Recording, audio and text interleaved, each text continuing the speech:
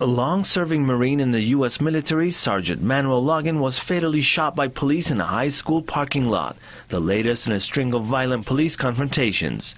Loggins regularly took his daughters to a high school football field to read the Bible.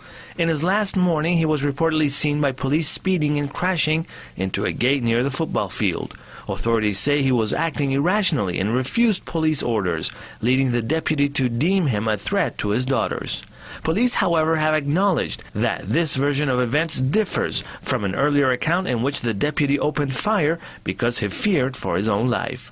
This was an unarmed individual uh, who was walking away from an armed police officer, uh, was shot more than once in the back. He had no weapon of any kind. We have no evidence of there being a threat. The police have not released the dash cams uh, they, they have cameras on their cars, which would have shown the in, uh, the incident. Uh, there would have been live radio traffic that has been suppressed.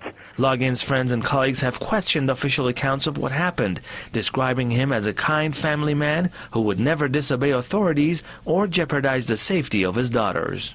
The Marine's death comes just a week after police shot dead a teenager in his grandmother's apartment in New York. Police say 18-year-old Ramarley Graham was attempting to flush a bag of marijuana down the toilet. The boy was unarmed and police did not have a warrant to enter the home. His death sparked days of angry protests by citizens who believed his killing was horrific and unjust. There's been a great deal of frustration within the American community over the abuse of authority by law enforcement officials.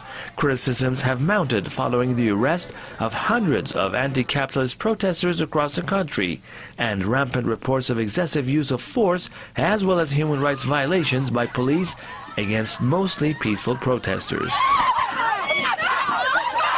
On Saturday, two Occupy Oakland protesters were arrested for allegedly struggling with officers. Ironically, the arrests were made during a weekly march against police brutality.